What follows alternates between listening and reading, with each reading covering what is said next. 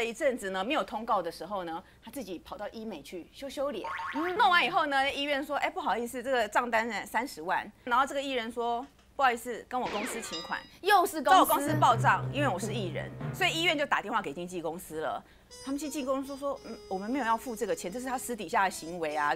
罗姐，请问一下罗姐，罗姐，你修修脸可以报公司账吗？呐，所以你要自己买单呐，要自己买单呐，你要跟人家学一下啦。但是但是开什么玩笑？我走进哪一家整形医院，谁敢收我钱？真的，说的太好当活招牌没收费就很好了，对，我没给你收费都不错了。是啊，所以他就说，哎。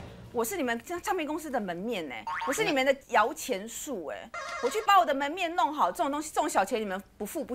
不，你们能不付吗？还呛销？对啊，你们付一下会死吗？这是你们的，这我是门面。结果有帮他付吗？结果后来经纪公司也不付，现在医院也收不到钱。哇，两边推来，经纪公司跟唱片公司也不付，然后收不到钱。这笔呆账就是现在要付。对，现在医生要三十万，现在没有人要付。其实医院有有有准备是要提告的。嗯，我现在跟大家埋埋下一个伏笔，哪一天我们看到新闻的时候就知道了。对，因为。据我所知啦，到目前我们录影的今天为止，这笔钱还是呆账，没有消掉。所以现在这里面七位的 KTV 畅销男歌手，有一位已经蠢蠢欲动，有一家医美诊所想要告他了。对他可能收集好了什么资料的时候，他就会爆出来，大家就知道我讲的是哪一位了。啊，快去付钱啦！看了这一集节目，赶快去付，赶快付掉吧。然后呢，最扯的一次，我刚这样还不够扯啊！他除了早上呢第一场录影通告要喝新叉叉的咖啡之外呢。他平常录影中途呢，他不吃便当，但是呢，我想要吃什么，你就要去买什么，最好是嘞。对，然后好像有一天呢，他录影录一录，他就说我肚子饿了，我想来点小甜点，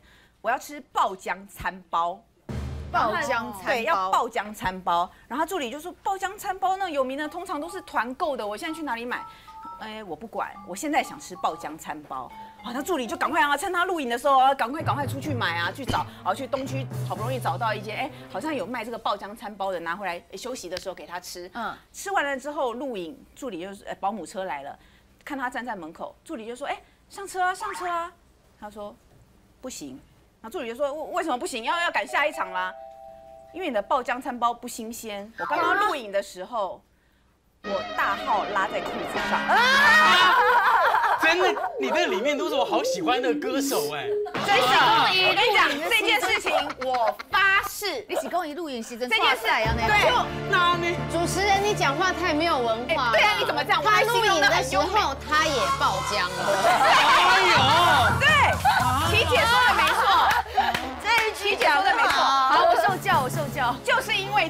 他还怪到助理说，谁叫你买爆浆的？Yes，啊，Bingo，你买爆浆害我爆浆，他自己要吃的，对不对？他就说你买的那家是哪一家？你看吧，不新鲜，害我自己也爆浆了。你知道我现在怎么坐到车上去？站在电视台门口不肯上车。我跟你发誓，这是真的，不是真的的话，拍款。薛友华哥应该拉找我拿一百万。哎呦，然后呢，助理就说，那我该怎么办？你现在你现在也不能动啊。他就跟你助理说：“你你过来，你跟我去厕所，我把裤子脱下来，你帮我洗干净。”哎吧，你知道为什么要帮他洗吗？他就说。哎，那助理说，哎，不行，这是造型师借的，你这样子弄脏了，我们怎么办？我们要赔。因为你知道歌手哈打歌旗的那一整身衣服，譬如说 BOSS 的裤子啊，都是赞助，或是 Ralph Lauren 的牛仔裤啊什么的，这是赞助，这是借的，是名牌的。可是不行，你把造型师的裤子弄脏了，你就是要不然就赔嘛，你吃下来嘛，要不然你吃下他的酱，不是啦。你冷静，你是怪怪的。Come on，你这样讲，你叫我怎么想啊？冷静，对，要不然把这个裤子的价格。自己吃下来，对不对？要不然你就是自己送干洗，要把它弄干净，不要让造型师发现。那他又不想付这个干洗的钱，那他又不想要把那条裤子名牌裤子买下来。他就跟助理讲说：“你现在随便去外面先帮我买一条裤子换上，你把这条裤子先拿去洗干净。怎么可能有人要别人把他的脏裤子晾干之后把它还给造型师？这件事情你知我知，你们我们都不要讲。我先浩如知，我们也知。你知我知，所以你说他的助理是不是非常难为？我从小到大，你说我帮你递茶递水也就算了，我什么时候我为什么要帮人家？”洗盤？還真的是，把屎把尿哎，我的天哪！为什么呢？我不敢相信，怎么会在这几个歌手里面？不可能啊！对呀，是，你不要这样好不好？以后去 KTV 唱到他们的歌，心里一直在想，说是哪一位那个裤子要人家去洗啊？替他拔这个拔那个的爆浆裤，吓死人了！不，刚刚看到哎，这些也都刚刚那几位都是算年轻哦，三十几岁就已经很有大牌的那个康展哈。那杨琪，你又在又在演这个舞台剧，你又在综艺圈啊，你又在什么电视主持啊，什么一堆的，你都有涉猎，简单的说全方位，哎，全方位艺人，好，谢谢。所以你见过的例子应该也不少了吧？很多，有些人是会对，呃，对手演员不好，对手演员也不好，怎么对戏啊？我的天！哦，厉害了！哦，厉害了！我有碰过那一个是，觉得这场不需要到掉眼泪，嗯，然后那个演员就说，我也不想哭。我说好吧，那就情绪到就好了，就不要哭。开始录了一半，我印象很深，那一场戏我跟那个人演男女朋友，所以我就是很难过，这样倒在他腿上，然后再讨论一件伤心的事，结果。我演一演演一演，就突然发现脸湿湿的，自己的脸湿湿的。对，我的脸湿湿的，但是我确定我没有流眼泪，我就这样倒在那边斜眼看他，给我泪流满面，眼泪滴在哦。等一下，等一下，你刚刚说是演男女朋友，所以这是个男的耶？对。哇，我刚刚还以为是有一个女的跟你斗心机的，结果是一个演你男朋友的。我只能说女的的话，我不会那么讶异。我没有想到男演员也给我来这一招，然后我倒在他腿上，我就心里就想说啊，呵，你搞要来镜头，然后就开始你知道那种肾上腺素喷发，然后就赶快就嗯嗯，然后就啊那场拍完，咔，我立刻就站起来说，你来阴的，不是说？你哭什么东西呀？然后说。也没有啊，就演一演，就突然觉得有点感，哎，悲从中来了。对，人家就戏感上来了嘛，不能怪人家。还好你也追得快啊，不然怎么办嘞？对啊，所以大家都是演技派。哎，演技派的女星面善心恶，包括了郑嘉瑜、陈德容、张庭、田丽、岳玲、于小凡、潘怡君当中其中一位的演技派女星。嗯，面善心恶，她怎么样整助理？她很严重，呃，就是。呃，我我应该这样讲啦，有的时候拍比较辛苦的戏的时候，其实演员当然很辛苦，因为你一定要每天面对镜头。那助理也很辛苦。那我们碰过比较有人性的 艺人，他会是比如说在拍或干嘛，那真的太久没有睡了，他就会跟助理说，哦这一段，哦就说啊怎么样，现在拍我，那你休息一下没有关系，现在没什么别的事情，你就去旁边，因为你不睡，助理稍微眯一下，对。对，就是稍微眯一下，不然的话很危险。哎，所以助理真的很很辛苦哎，大家拍戏没日没夜的，助理也是没日没夜的。那而且助理这样都没有加班费的。对，对，因为我工作多久，你就要工作多久，我给你钱。就 Seven Eleven 就对了。对，超越 Seven Eleven。嗯，对。那然后这一位女艺人就是。物尽其用，她钱花的每一 penny，她都一定要得回来。嗯，所以不管任何的时候，只要拍这个女演员，你就永远会看到她的助理、水壶、呃化妆包、外套，身上排的这个那个的一大堆，对什么什么，就一直站站在 monitor 后面，还用站着哦，站在 monitor 的后面，以及哦拿着小椅子，因为小椅子可能要给艺人坐。啊！一人在演戏，他不能先把椅子拿起来坐不可以，你凭什么坐我的椅子？啊！对，然后闲着也是闲着啊。对呀，就我花钱是叫你来坐在那里给我看的吗？他只有付他站的钱，没有付他可以坐下来的那个那个助理就是永远就是看他这样子大包小包，然后站在 monitor 后面，然后一咖任何一咖，他就会说补粉，然后或者是喝水，然后。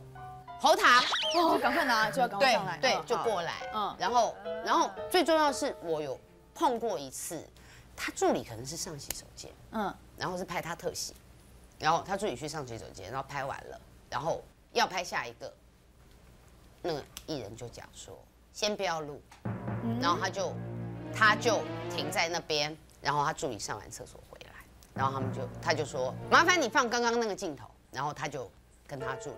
你看到没？看到你看到没？我的头发那边就是乱的。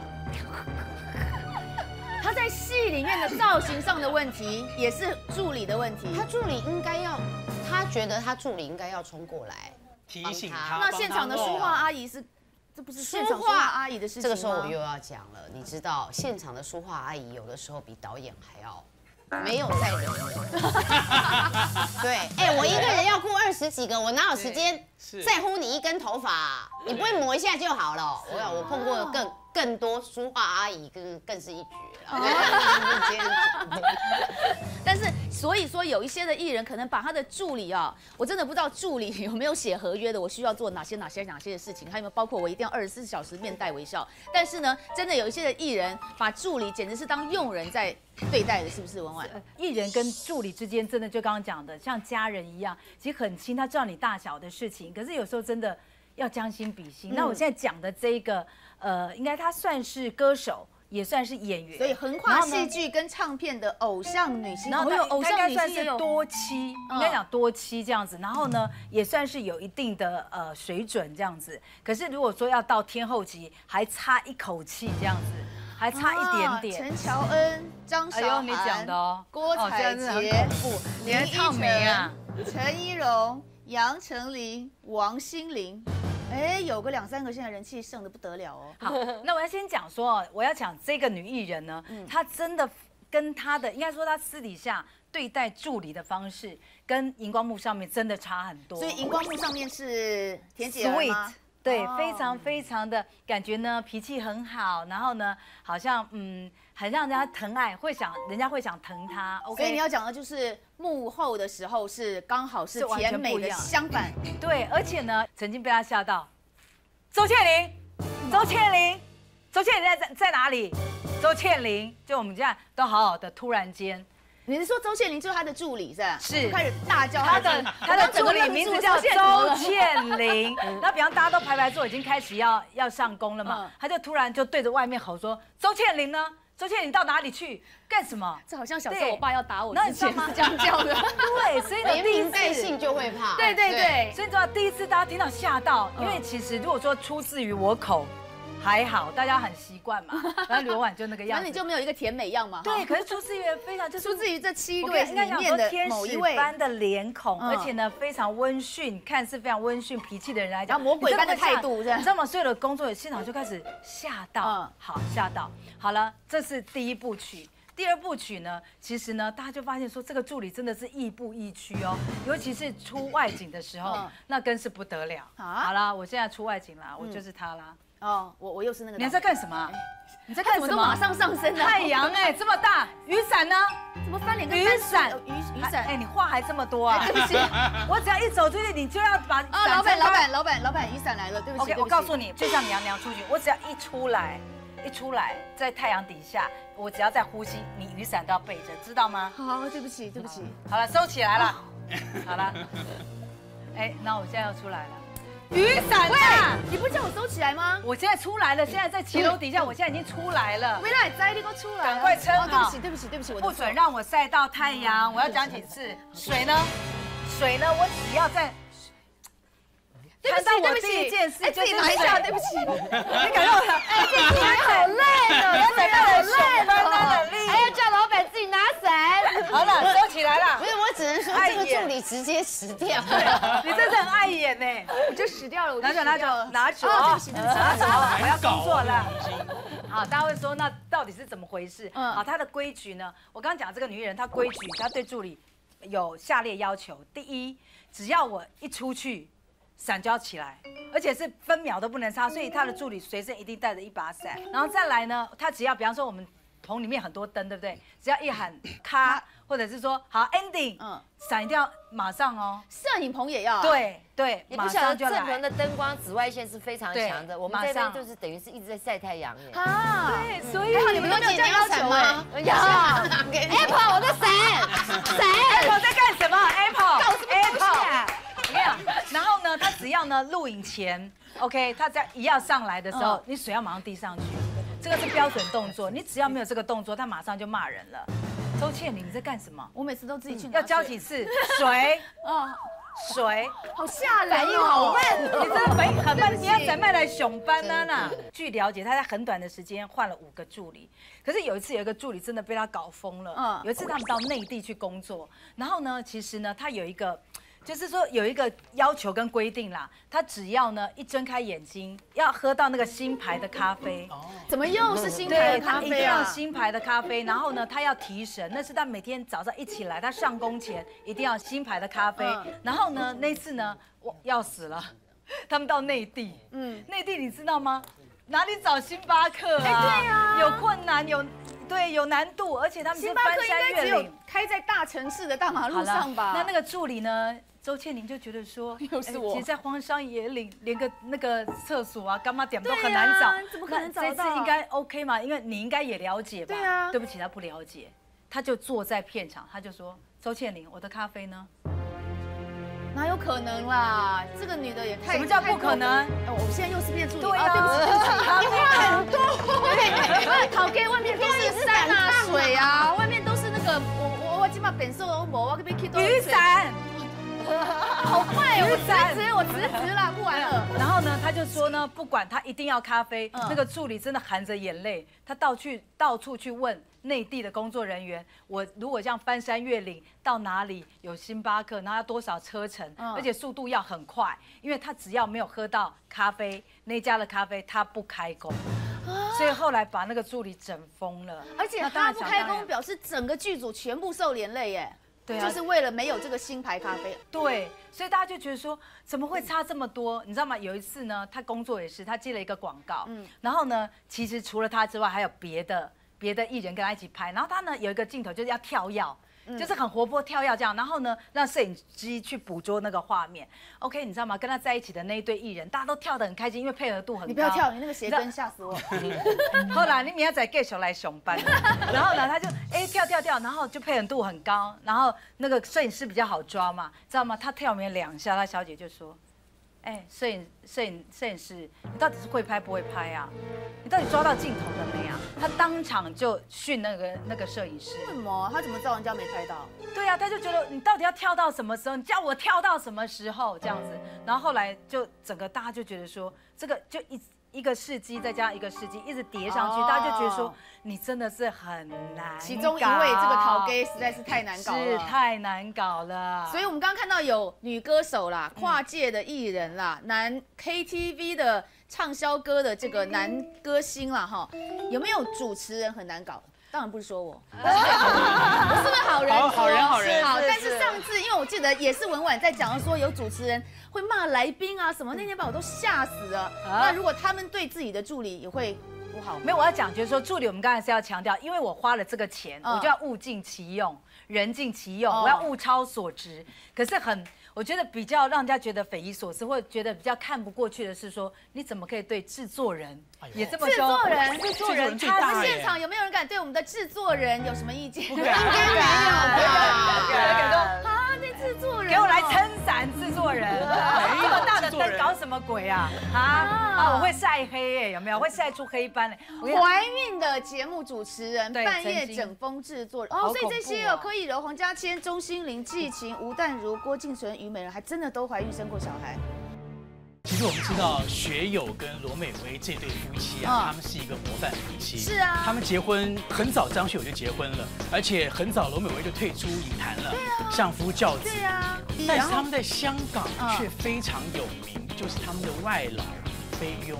嗯，他们曾经三年辞退过二十一位菲佣，所以是臭名的意思吗？菲律宾领事馆后来因为很多的菲佣投诉，他们家就被列列为拒绝往来户。